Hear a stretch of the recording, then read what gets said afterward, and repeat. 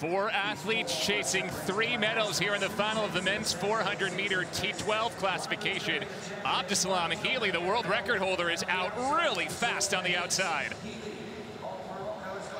He looks good. I like the fact that he doesn't look like he's pressing too hard on that back stretch.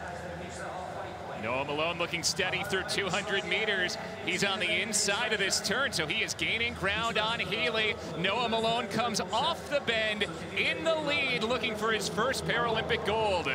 Let's see if he can continue to hold his form. Watch the inside lane.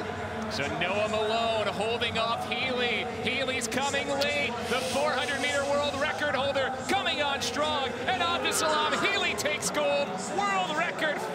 World record 47.59. It's a second silver for Malone and bronze for Jebabli.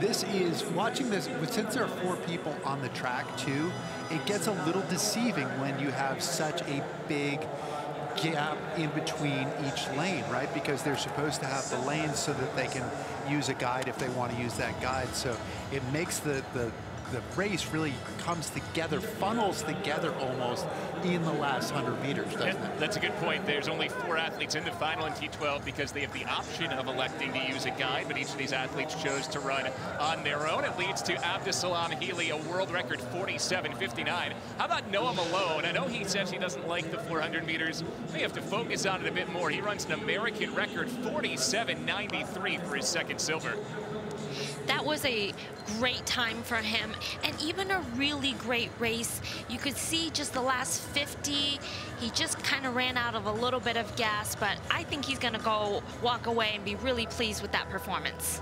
So Morocco's Abdeslam Hili takes gold, Noah Malone silver, Rouay Jebabli takes bronze.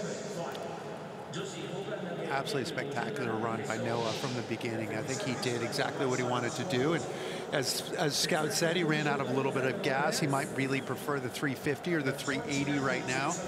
But that's the nature of this 400, isn't it? Can you gut it out? And Hili, who is the world record holder, who was the world record holder, who is the world record holder, beat him. So you really, you, you, can't you can't cry too much about being beaten by the world record holder. Yeah, in fact, Noah Malone's best event, at least on paper, is the 200 meters, where he is the T12 world record holder, but that was not run here in Tokyo, which is why he runs the one and the four, and he wins two silver medals.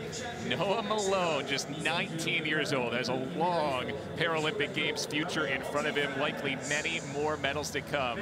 But how about his debut? He competes in two individual events, and he nets two silver medals.